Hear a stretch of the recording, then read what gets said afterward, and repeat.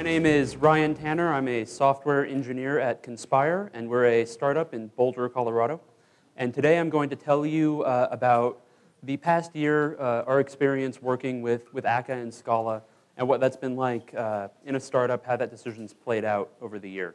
This talk isn't going to be as technical as the others we've seen this weekend, uh, but I am going to go into the technical challenges that Conspire faced as, uh, as we chose Akka uh, why we chose Akka and Scala to tackle those challenges. Um, I'll also go into the successes we've had with that, but more so the failures and the lessons we've learned over the past year, including the, uh, the egg on my face story of why everything crashed and burned the first time we tried to go into, into uh, production.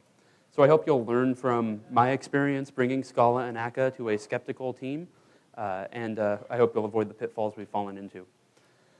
So, uh, Conspire, what do we do? We analyze email data to tell you the best way to get introduced to anyone. Uh, we score every relationship in order to understand the difference between a close colleague and someone you just met five minutes for, you know, five minutes three years ago.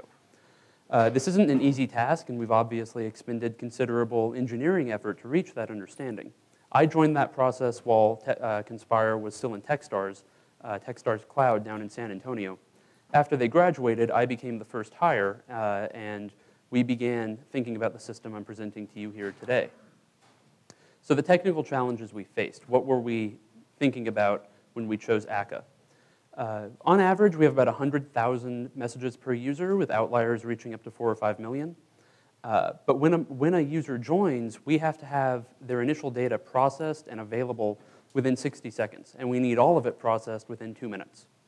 Uh, and we need to maintain that goal when we get, for instance, a press hit, uh, which can lead to a lot more data coming into our system. One press mention can easily represent billions of new messages to be processed. But even under that, we still have to hit that two minute goal. We can't break the internal SLA we've set for ourselves. So that was the challenge we faced in June of 2013 when we began designing this system. We needed something resilient, scalable, and easy to, to understand. And we only had a team of three people to build it. We had the two co-founders and myself. Uh, so, and, and, and we chose Akka for that. If you'd like the details on the Akka cluster itself, the technical details are on our blog, and that's at blog.conspire.com. So initially, we decided to use Akka actually with Java and not Scala, but obviously I wouldn't be presenting this here at a Scala conference if I'd chosen to respect that decision. Uh, so none of us had used Scala professionally, none of us. Uh, my jobs had all, all been .NET, actually, before, uh, and the other guys were lawyers. Uh, so that's how we started, Akka in Java. The backend for Conspire's MVP had been written in Java, so using Akka with that was an appealing option. Uh, and that's how we started. But then I pretty quickly got tired of writing 20 lines of Java when all I needed was a case class to define a message. Uh, and then I got tired of mutable by default and for loops, and I'm preaching to the converted. I don't, don't need to convince you guys why we don't want to write more Java. So uh, I started defining, I started small. I started defining our, our actor messages as case classes. Uh, we were using SBT anyways, so it was easy to have a mixed code base. Uh, and then I took a little bit more of a risk, and I wrote a small piece of our analytics code in Scala, just to demonstrate how immutable collections with higher order functions uh, made the code safer and easier to reason about as opposed to the traditional imperative for loop approach. And the guys were okay with that. I was able to clearly demonstrate the benefits. And it's a lot easier to take that risk in a three person startup where you have a lot more freedom to, to make these sort of decisions. And that's half the fun of working for a company of that size. So this is Paul. Paul is our CTO and co founder. And at this point, I, I demonstrated enough Scala to pique his interest. So he decided to give it a shot himself. He was a, you know, he's a Java developer, that was, that was his experience. But having never written Scala, he, in one sitting, actually wrote the first pass of our analytics service uh, and went from no prior uh, Scala experience to an analytics service that worked correctly the first time it compiled. Now, he actually, it took him about six hours to you know, wade through all the type errors, but once it type checked, it actually, sorry, it, once it type checked, it actually worked correctly the first time. And that code still forms the backbone of the company today. Uh, he was hooked, and we've barely written any Java since, uh, since that, that point. Uh, I'm not going to claim that Scala has been perfect for us. Uh, we definitely have, have challenges with it. Hiring Scala developers is hard. Uh, we've, you know, that, that's not something we've had a lot of success with. And another big challenge, which I'm sure a lot of you have faced, is wrangling the different styles of Scala that each person on the team writes. You know, mine tends more towards the functional side, type classes, etc. Uh, Paul sits somewhere in between. Uh, and some of the guys are, you know, there, there's still the occasional option dot .get that shows up in a pull request that they got to chase down. Uh, but its place in our stack is assured. At the same time, however, you know, Ruby is also has a solid place in our stack. We're not purists, uh, and by and, by and large, we write front-end code in Ruby, back-end code in Scala.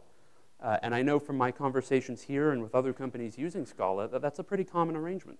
Uh, it's one that's worked well for us, and, uh, and I, I, think it seems to be working well for, for others.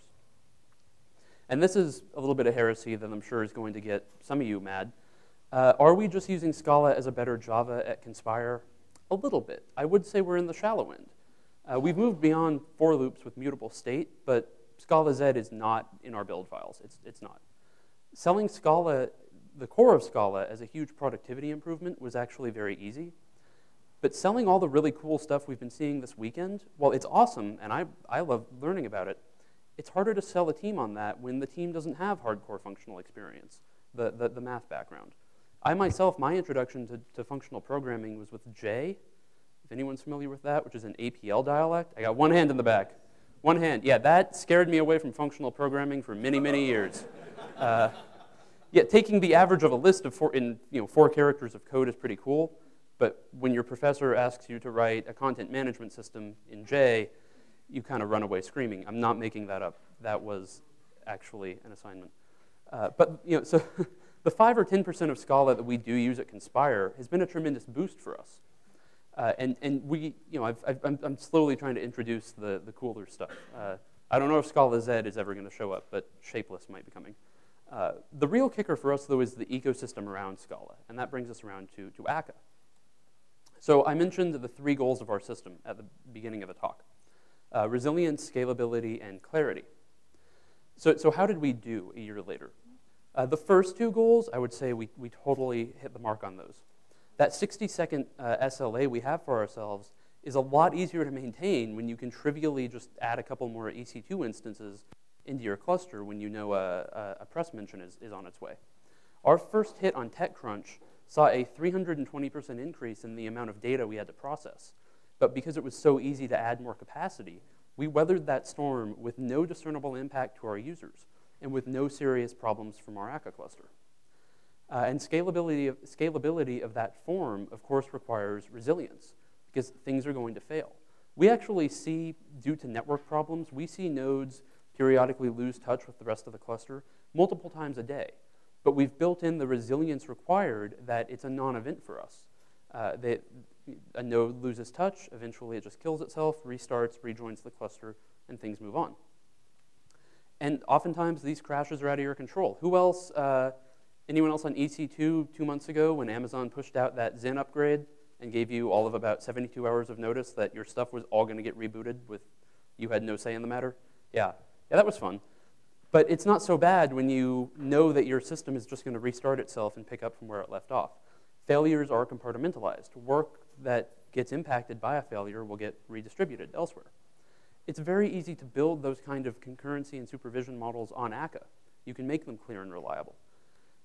But on clarity overall, I would say we missed the mark. Uh, I'm not talking about individual functions or actors. I'm talking about design as a whole.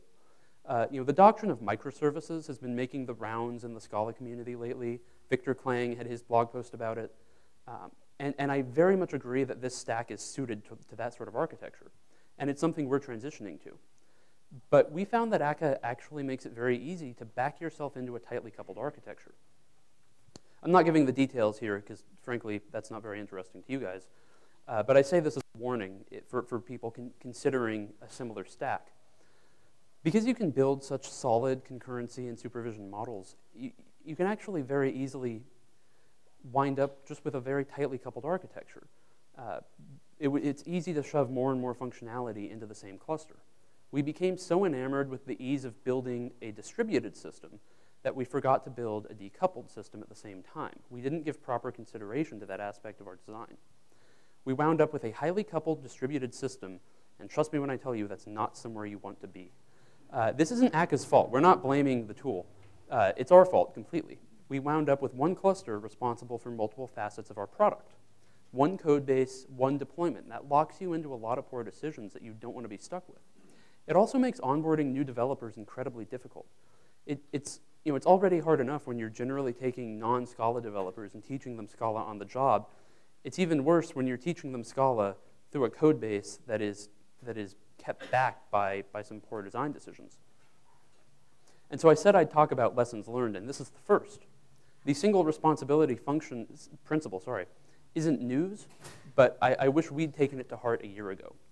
Uh, we wound up with one cluster with many responsibilities, working towards multiple clusters, each with a single responsibility. So it's nothing to do with akka or even Scala, I, I recognize that. Uh, but as we began using akka, we realized, or just couldn't find, uh, that there's not a lot of literature on exactly how you design these systems. None of us had distributed systems experience, and the, the literature is cert certainly out there, but we didn't know where to start. So we just kind of dove in head first. And we wound up locking ourselves into, into some decisions that we regret a year on. Uh, documentation itself is fantastic, and it's certainly some of the best I've seen of any open source project.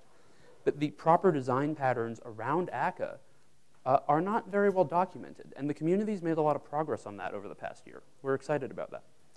For us, the biggest anti-pattern is building a system based around tightly coupled orchestration. And that mistake has been an impediment to the business now. It's not just a technical problem. It's made it harder for us to ship new features. And it's a straitjacket from which we're still trying to break free. So I say this just as a warning to others considering the same path. So now uh, I'm going to move on uh, to why everything crashed and burned the first time we tried to take this into production. Uh, so this was back during the early days of the 2.2 branch. This was right after clustering had been moved out of the experimental stage uh, and been declared production ready. So everything looked good locally. We, we had our test passing. We had some nice, big, complicated multi-JVM testing. Looked good. Uh, we could load email data, analyze, consume, etc. Then we moved up to EC2. One user through the pipeline, fine. Two at a time, okay. Five, ten, things started falling apart. And you know, you end up with the, the never-ending, that's unreadable, never-ending, it doesn't matter, uh, never-ending, you know, unreachable nodes, association exceptions, all sorts of fun stuff. Uh, you see, you know, some heartbeats get missed, and then a node gets quarantined, gets marked unreachable, and then you've got a split, split, split brain cluster, and you got to deal with that. The problem was what we didn't, well, there were a number of things we didn't think about. We were doing so much CPU intensive work in our, in our system, but we failed to take into account any kind of back pressure. And in fact, our, our own uh, userland work was so intensive that Akka's internal actors for remoting and clustering couldn't get any CPU time. Uh, or we'd get the really fun problem where the out-of-memory killer on AWS Linux would just come around and just axe our JVM process. Uh, so that's fun because then you get no output whatsoever in your own logs until you finally think to go and check syslog and you see the little kill statement in there. Uh, that took a while for us to find. So whenever you see some guy reply about Akka, someone else is saying, why does my thing keep dying? And you see some guy say, check the out-of-memory killer on your operating system, it's almost always me going around and saying that. Uh, so we, we tried to go live and we failed miserably. You know, it, it was like Grumpy Cat here on a, on a gumball rampage. That's how it feels when you try to go live and then fail completely. And if you dig into the history of the Akka user mailing list, you'll find a bunch of panicked messages from me uh, wondering what in the hell I do to keep my cluster from falling apart. Uh, we were honestly afraid that the four months of work we'd done building this system was going to be for nothing. Uh, because we, didn't, we, we were completely unsure as to whether or not we could actually take it into production. And I came very close to stripping all of the clustering entirely and just throwing RabbitMQ in the middle of everything and just communicating over that. I came very close to that. So we, we spent about two weeks uh, rethinking uh, every aspect of supervision and of, uh, and of how work was dispatched throughout the cluster and how we did so concurrently. In the end, we actually were able to build a very strong and reliable cluster that could handle failures, could handle network problems, and most importantly, had back pressure baked into every single aspect of the system. So how did we do that? This is what we didn't do because it didn't work. So at first we just kept moving up to bigger and bigger EC2 instances, which is a band-aid and it gets you a little way. But that, that's not a long-term solution, uh, especially if you don't want to burn through all of your venture capital in about a month and a half. So then we, we tried uh, tweaking the dispatchers in akka, the, the, the, the underlying uh, executors. We moved our own our, our stuff to their own executors. We moved akka's internal actors to their own dispatchers. We tweaked every setting, every knob in the documentation. None of, none of that really worked. You do need to tweak it a little bit. And now in 2.3, akka's internal actors are by their, on their own dispatcher by default, which is fantastic. But the, the real question just comes back to back pressure. And that this, this, is, this was the problem right here, taking care of, of futures within actors. One of the most common themes in the akka documentation and on the mailing list and so forth is the danger of mixing actors and futures. Most of it focuses on mutable state, closing over sender, and, and so forth, which is dangerous, and we didn't make that mistake. But there's a more insidious mistake, which looks a little bit more like this. So you know, you do you uh, a message comes into your actor, uh, you immediately spawn a future that's getting hundreds of megabytes of data over the network from AWS, whatever, and then you do something computationally expensive with the result. And you do it on the default dispatcher in the actors receive function. And then you do it for hundreds of users at the exact same time. I call this reactive the hard way. Uh, the core of the problem here is you know, you're pulling in hundreds of gigabytes of data, or not hundreds, but many gigabytes of data at a time, performing computationally expensive tasks and no upper bound whatsoever on the amount done at once. Because that's the way the receive function works, right? As soon as that future spawned, that actor is going to go get the next message. And if that message is also going to go, go get a ton of data and do something expensive with it, you're going to have a lot of problems. This flaw was so serious and was so thoroughly permeated our code base that it necessitated a near total rewrite of all of our supervision and work distribution concepts as we were trying to go into production as we had you know, press hits lined up, ready to go. We were about to pull the trigger, and we couldn't go live. Uh, this, was, this was not a lot of fun. But because our individual actors followed the SRP pretty well, this rewrite was not as painful as it sounds. Uh, and, and, really, it, it, this rethink is, is why we have such a stable system today. Uh, going through that mess forced us to code defensively. We learned the hard way that you must bake in back pressure at every step of your pipeline. Uh, learning from that mistake has led to a much stronger system. And the, the, the, core of that back pressure strategy for us has been to always pull work, to never push it. You know, akka will gladly let you hang yourself when it comes to work dispatch. Pushing is easy. That's the, the most basic you know, function of an actor. Actor, tell, message. That's it. But there are problems with that. Uh, it makes accounting for work a lot difficult. You know, if you, if you tell a message to a router, you don't have a clue where that message went, which of the actors behind that router is actually processing it. It's even worse if it's a, if it's a, uh, a cluster aware router and the routee is not necessarily on the same box. So now you're sending work off over the network with no clue as to where it's going. So if then you get back a failure notification, a death watch notice that one of those actors has failed, you don't know what it was working on a priori. You, you have to you know, maybe you have some kind of confirmation coming back, but what if it dies in flight? How do you know which message to, re, to, to retry? Uh, the other, uh, another, another complicated uh, aspect of just pushing work is that, that little code snippet I showed you earlier. You're, you're then, every, every actor in your hierarchy has to be a part of your back pressure strategy because you can't just rely on the receive function blocking until it gets the next message. If, it, if you have futures or child actors involved, and your work is immediately going off into a future or a child actor, that worker actor is going to move on to the next one. You can't rely on an actor's mailbox as a form of back pressure. Uh, and if you continue with that, then if you, if you do want to do that, you have to involve every layer of your actor hierarchy in your back pressure strategy. So, so we, we find that the drawbacks of, of blindly pushing really manifest themselves primarily in three scenarios. When you're sending work off to a remote node, when there's some concern about the stability of that worker actor, or in this, this case, when you need specific control over the amount of work you're doing concurrently. Uh, fortunately, it's very easy to build a pull mechanism on top of the basic unit of pushing. And, and this isn't our pattern, and credit, uh, I think, has to go to Derek Wyatt for first writing up the, uh, the work polling pattern on the Let It Crash blog. I'd encourage you to, to take a look at that. Um, if you let your workers pull work from a supervisor instead, your system becomes dramatically simpler. And to us at first it was counterintuitive because we thought, no, we're writing more code now, it's not simpler.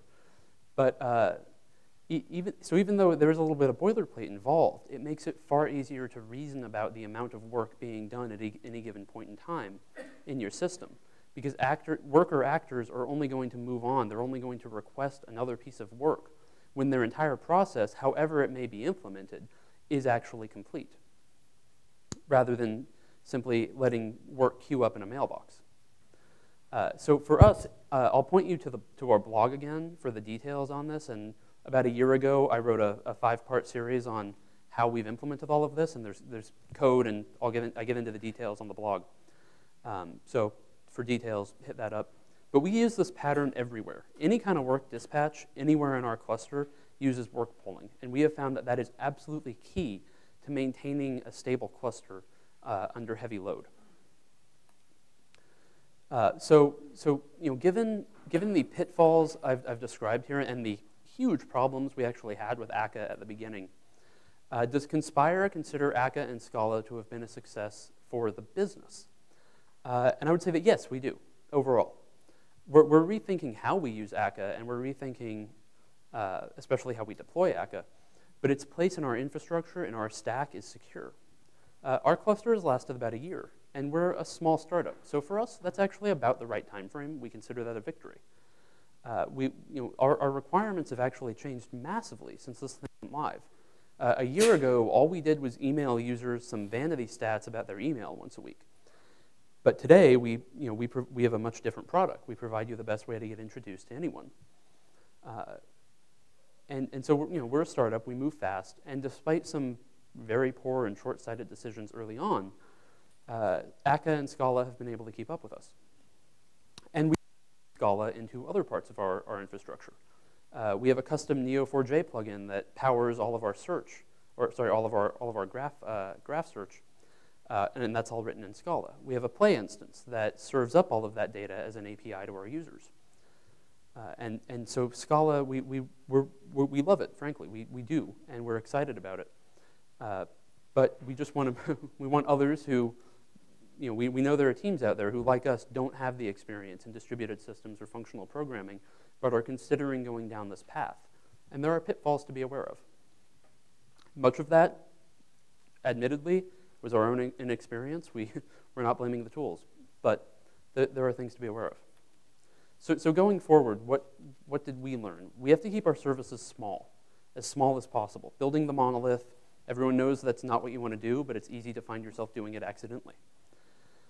Always think about how you would onboard a new developer, especially when it's a language like Scala, where often you're not hiring someone who already has Scala experience. Uh, that, so always be thinking about how you would teach uh, you know, a Python guy uh, how to be productive in your code base. And I'm, I'm not trying to say don't use hard stuff. Absolutely use the hard stuff when it's called for. Uh, but my, my point with the, the second bullet point here is not language constructs. You know, if the, if the type class is the right way to go, if the iteratee is the right way to go, go for it. But uh, think about the design, how you would explain to them the design behind your system. We didn't think about that enough, but I found that it's, it's a good a, a good you know, canary in the coal mine to tell you when you're going down the wrong path, when it would take you a very long time to explain someone how to be productive in that project. Uh, and then just assume that it's all going to crash. That's, that's the third, third point there. So how is Conspire implementing these suggestions? Currently, we're taking that monolith and we're breaking it into a series of, of much smaller uh, specific services that will all communicate via Kafka. Uh, I know Kafka is you know, pretty exciting right now, coming out of LinkedIn. Uh, right now, we have a single top-level pipeline that implements a user through, or sorry, uh, ushers a user through every step in our process, and we're breaking that apart. Uh, and we're sticking Kafka in the middle, which is admittedly not dissimilar from my RabbitMQ Plan B that I mentioned earlier. Um, we're also throwing out Chef and Vagrant. Uh, that's what we've been using for a year, and I'm glad to say that it's now all been deleted. Uh, we, it, it, a year ago, we, we set up Vagrant to deploy our EC or provision our EC2 instances. We had Chef, uh, you know, building code, pushing it up, and that was just horrible. Uh, we, uh, we hated that. I see a lot of nodding heads, absolutely. Uh, so we, about two months ago, deleted all of that, and we're now deploying everything on CoreOS with Docker. So we, doc we Dockerize all of our Akka stuff, push it up to Docker Hub, and then let CoreOS pull it down and, and run it. And I'll be having, I'll hopefully have some blog posts up about that in about two, three weeks. Uh, and if you haven't checked it out, the SBT Docker plugin is fantastic. Uh, I, don't, I don't remember who wrote that, but it's a great, great SBT plugin. Uh, one SBT command and your stuff's up in Docker, good to go. So if you would like to join a team that's made these kind of horrible mistakes, we are hiring. If you would like to come hang out in Boulder, Colorado, uh, if you're, if you're in interested in Colorado and uh, working with a small startup doing some cool stuff with these technologies, come talk to me or uh, my email, ryan at conspire.com, and I'm on Twitter. Uh, and uh, so thanks. I know this presentation was pretty short, but since it's not technical, and we ran over anyway, so that worked out well. Uh, and that is a, a, short URL to that five series blog post uh, from a year ago. Um, so I hope, I hope those of you considering a similar path will avoid the mistakes we've made. Always be thinking about back pressure. Always be thinking about how you would bring someone into your new system. Uh, I, hope, uh, I hope that steers some people away from the pitfalls we've made today. Thank you.